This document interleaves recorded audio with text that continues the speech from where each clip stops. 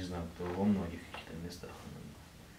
Может, какие-то мысли тебе придут в голову по этому поводу?